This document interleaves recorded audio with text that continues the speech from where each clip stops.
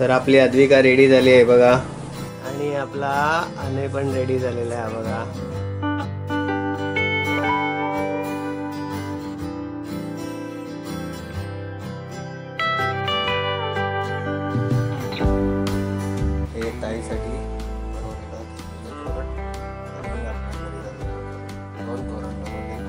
वाजलेत किती बघा? सव्वा चार वाजले थोड्याच वेळात आपला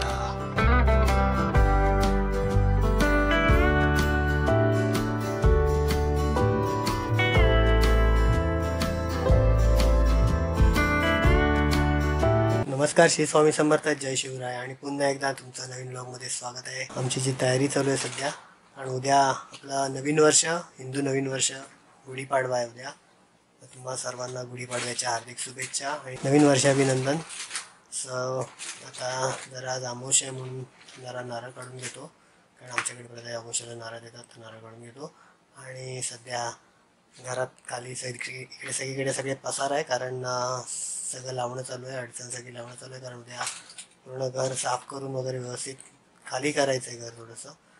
घर लावणं चालू आहे आणि नंतर थोड्या वेळाने मी हार करायला बसणार आहे. परेल दादरवरनं फुलं आणलेली आहेत आणि त्याचे आता हार बनवणार आहे.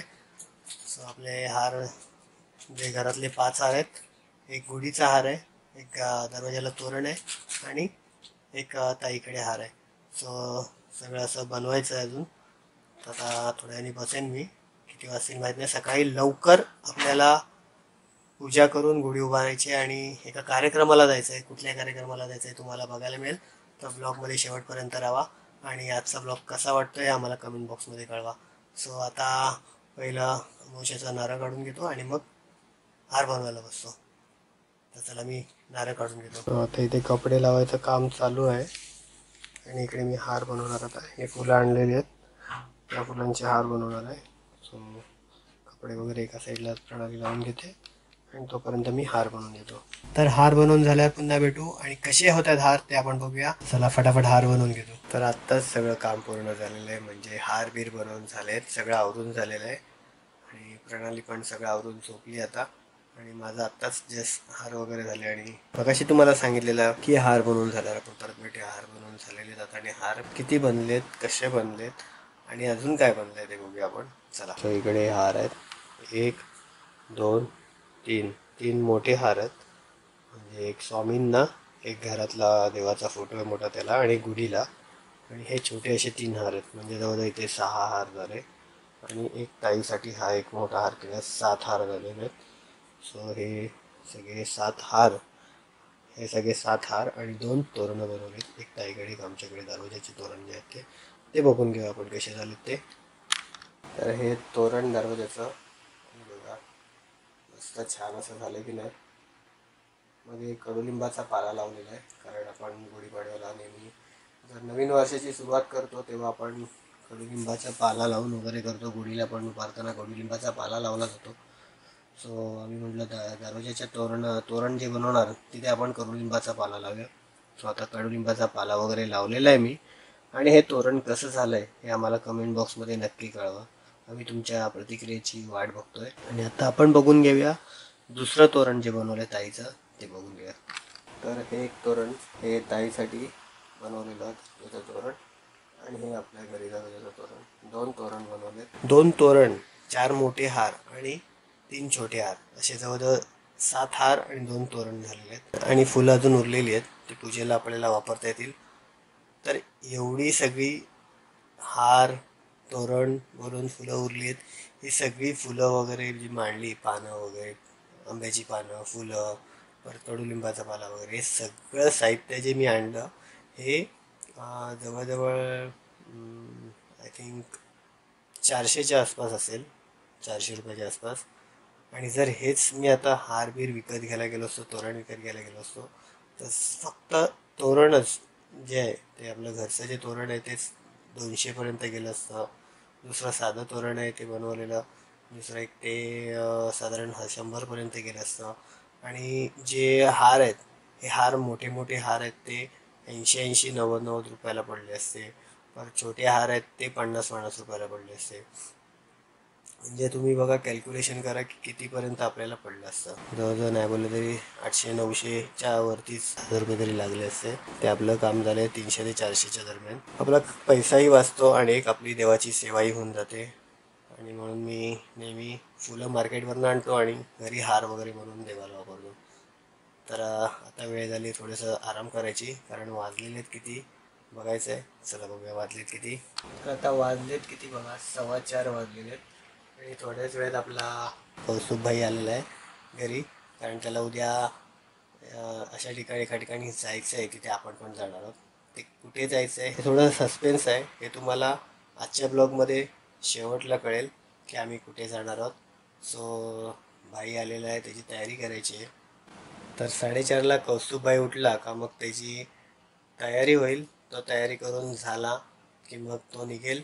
आणि मग आम्ही घरातली देवाची पूजा करू गुढी उभारायची ती गुढी उभारू. आणि गुढी उभारून झाल्यावर आम्ही पण त्या ठिकाणी जाणार आहोत. तर थोडं सस्पेन्स ठेवलं पाहिजे. तरच तुम्ही शेवटपर्यंत बघाल ना? तर त्याला थोडासा आराम करून घेऊया. आणि मग आपण उठू आणि मग पुढची तयारी बघू. सो आज कौस्तुभबाईला मी फेटा बांधणार आहे. तर फेटा कसा बांधणार आहे तुम्हाला दाखवणार आहे. तर फेटा कसा होतो ते बघून घ्या.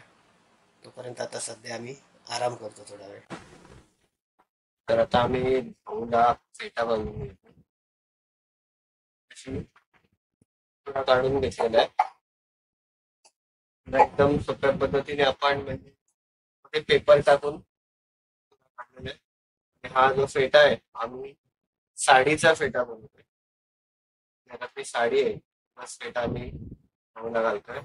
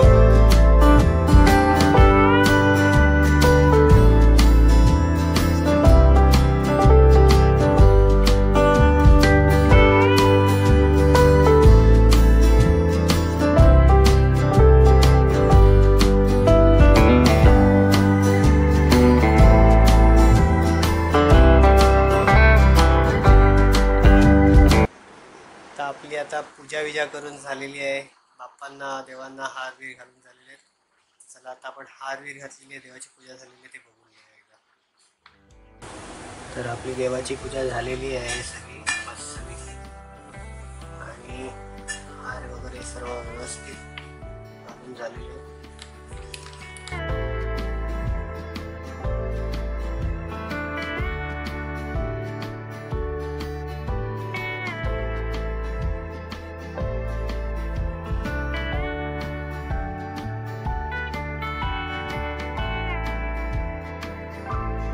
तर आपण बघितलं देवाची पूजा झाली हार वगैरे घालून झाले सगळं झालंय.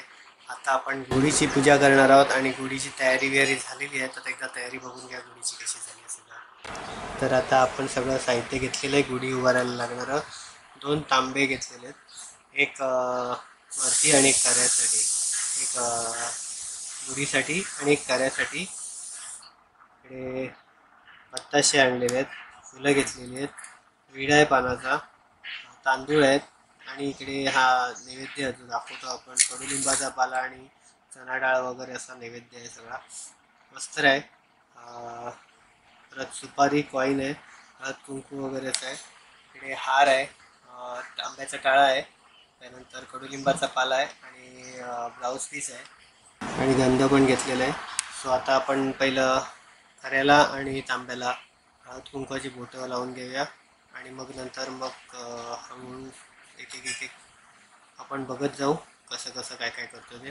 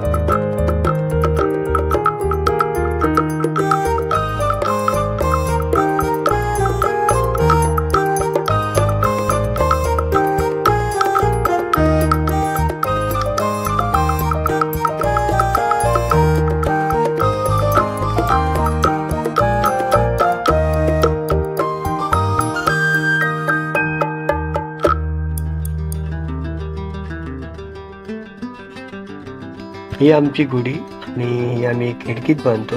तर मुंबईत बघाल तर तुम्हाला अशा छोट्या छोट्या गुढ्या दिसतील. तशी आम्ही मुंबईत राहत असलो तरी आम्ही मोठी गुढी उभारायचो दरवर्षी आमची जी गुढी असायची ही खूप मोठी असायची. पण यावर्षी जरा आम्ही छोटी बांधतोय. कारण आम्ही भाड्याच्या रूममध्ये राहतो त्यामुळे आम्ही तरी छोटी गुढी उभारली तर बघा. जसं तुम्हाला मुंबईत बघायला भेटलं तर छोट्या छोट्याच गुड्या उभ्या राहिलेल्या दिसतील. गावाला अशा उंच उंच अशा मोठ्या मोठ्या गुड्या असतात. तर यावर्षी आपली जी छोटी गुढी आहे तर ती खूप छान झालेली आहे. तर आता ती मी बांधून घेतो आणि मग नंतर बांधून झाल्यावर आपण त्याची पूजा करणार आहोत. तर ती पूजा पण करूया नंतर.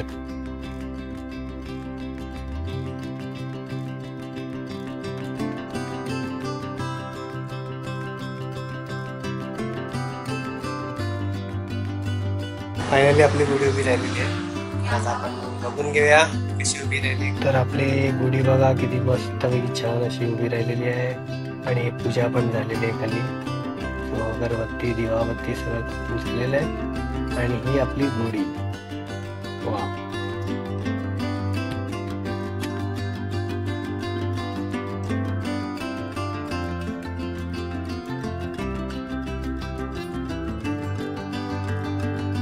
आणि हे आपण बनवलेलं तोरण ते आपण दरवाज्याला लावून घेतलेलं आहे. आणि हे आपण जे बघतोय आता सध्या ही आपण गिरगावची म्हणजे मगाशी तुम्हाला सांगितलेलं की तुम्हाला काहीतरी कुठेतरी आम्ही घेऊन जाणार आहोत एका कार्यक्रमाला. ते म्हणजे आपण गिरगावच्या शोभायात्रेत आलेलो आहे. ही गिरगावची शोभायात्रा याची झलक आहे ही. सो याचा फुल व्हिडिओ पण आपण बनवणार आहोत. तर ही शोभायात्रा आहे. आणि ही जी बघण्यासाठी भरपूर गर्दी झालेली असते. आणि भरपूर व्लॉगर्स भरपूर यूट्यूबर्स इथे ह्या ज्या गिरगावच्या शोभायात्रेचं शूट करून त्याचे व्लॉग बनवत असतात. सो ह्यात एक वेगवेगळे प्रकार आणि मराठी जे आपल्या मातीतले सण आहेत मराठी मातीतले खेळ आहेत सगळे आपल्याला दाखवले जातात. नाशिक ढोल पथक तर एवढे असतात की बाप रे बाप भरपूर.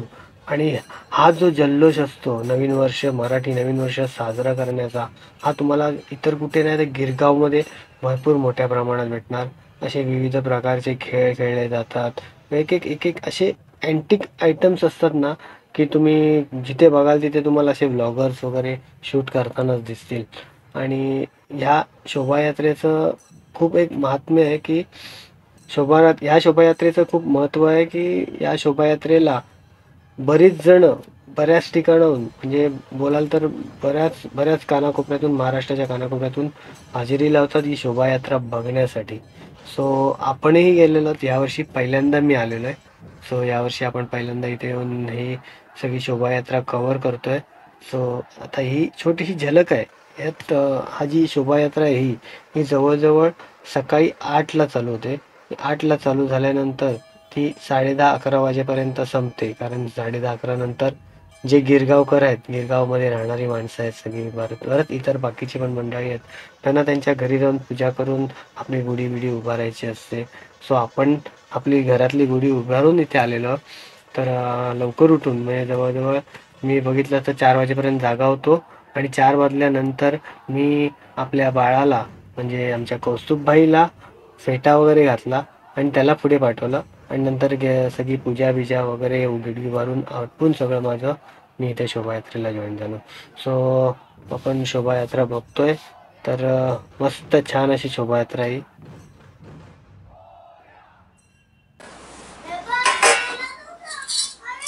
जेवण झालेलं आहे. नैवेद्याची ताटवून भरलेली आहेत. आणि आता नैवेद्य दाखवून घेतो. एक घरच्या देवाला गुढीला आणि एक स्वामींना. असं नैवेद्य काढलेले आहेत. तो आता नैवेद्य दाखवून घेतो पहिला. आणि मग आम्ही जेवायला बसतो खूप भूक लागली आहे. त्याला फटाफट नैवेद्य दाखवून घेतो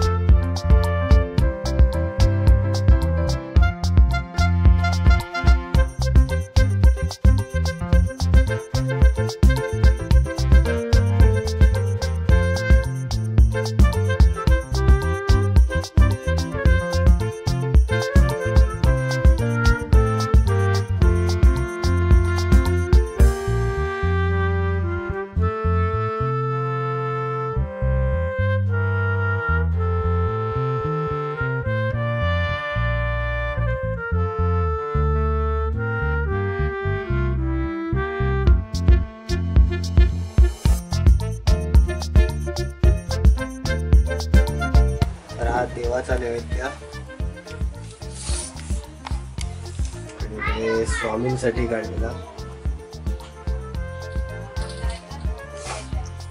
आता गुढीसाठी काढलेला नाही बघूया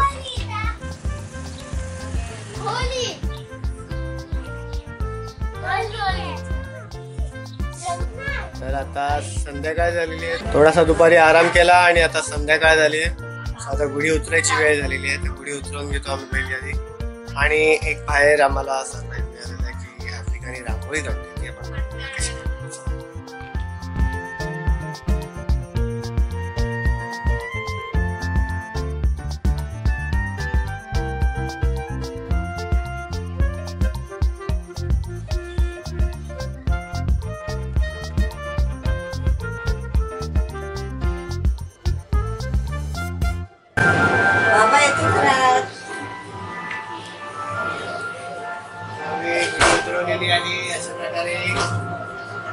तर आपली अद्विका रेडी झाली आहे बघा.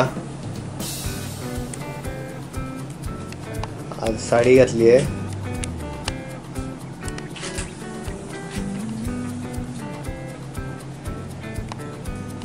आणि आमची अद्विका कशी दिसते आम्हाला कमेंट बॉक्समध्ये कळवा.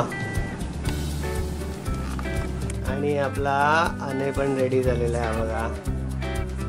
हा बघा हिरो रेडी झालेला आहे.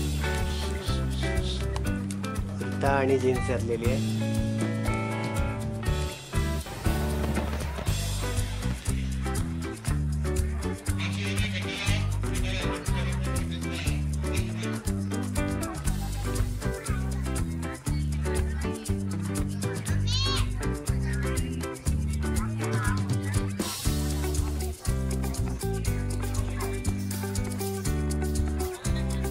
सगळे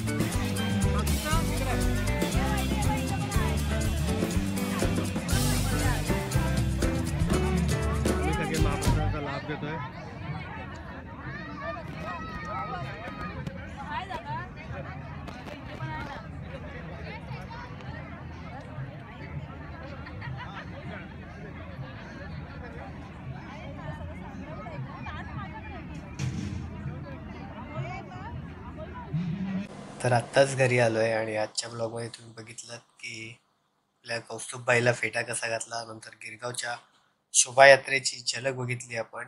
नंतर आमची जी घरातली गुढी आहे ती उभी राहिली कशी ती बघितली देवपूजा बघितली. त्यानंतर द- दुपारी जेवण आमचं कसं काय होतं ते बघितलं नैवेद्य बघितला. आणि नंतर संध्याकाळी आपले अद्विका अनय जे रेडी झाले तयार झाले ते कसे झाले काय झाले ते बघितलं. नंतर आम्ही संध्याकाळी स्वामींच्या पालखीला गेलो स्वामींची पालखी बघितली आपण. आणि स्वामींच्या पालखीचं सांगायचं म्हणजे दोन तारखेला विक्रोहित स्वामींची पालखी आलेली. पण त्या टायमाला आमची कुलस्वामिनी साळूबाई आहे. त्या साळूबाईचा उत्सव होता. त्या उत्सवासाठी आम्ही गावाला गेलेलो. तर तेव्हा आम्हाला दर्शन घेता नाही आलं. पण स्वामींचं दर्शन व्हायचंच होतं. म्हणून आम्हाला आज दर्शन भेटलं. नेमकं नवीन हिंदू नवीन वर्षाच्या दिवशीच पहिल्याच दिवशी आम्हाला स्वामींचं दर्शन भेटलं. स्वामी दोनशे ते दर्शन वगैरे घेऊन आलो. आणि आता घरी आलो. सो येता येता एक थोडा छोटासा इन्सिडंट झालेला होता. ते म्हणजे आम्ही जाताना बाईक घेऊन गेलेलो आणि दर्शन वगैरे घेऊन झालं आणि नंतर रिटर्न येताना बघितलं तर बाईक बाईकचा पुढचा टायर पंक्चर झालेला. असं नंतर तो पंक्चर काढून वगैरे आणलं आणि मग कुर्ल्याला गेलो. कारण अनय वगैरे तिकडे होता. सो नंतर अनेला घेऊन यायचं होतं पण अनेक आला नाही. अनय तिथेच थांबलाय. आता अद्विका आली आमच्यावर रिटर्न आणि मी अद्विका आणि प्रणाली परत घरी आलोय. आता सगळं आवरून वगैरे एडिटिंग करू. एडिटिंग करायला बसणार आहे. एडिटिंग झाली का मग झोपणार आहे. सो आजचा ब्लॉग इथेच थांबवूया. आजचा ब्लॉग पूर्ण बघितल्याबद्दल धन्यवाद. आणि आजचा ब्लॉग तुम्हाला आवडला असेल तर कमेंट बॉक्समध्ये आम्हाला कळवा. आणि त्याचबरोबर आजचा ब्लॉग आवडला असेल तर लाईक करा जास्तीत जास्त शेअर करा. आणि आमच्या चॅनलवर नवीन असाल तर चॅनलला सबस्क्राईब करा. बेल ऐकून दाबायला कारण आमचे नवीन नवीन व्हिडिओ तुम्हाला बघायला मिळतील. सो पुन्हा भेटून नवीन व्हिडिओ नवीन ब्लॉगमध्ये तोपर्यंत बाय गुड नाईट टेक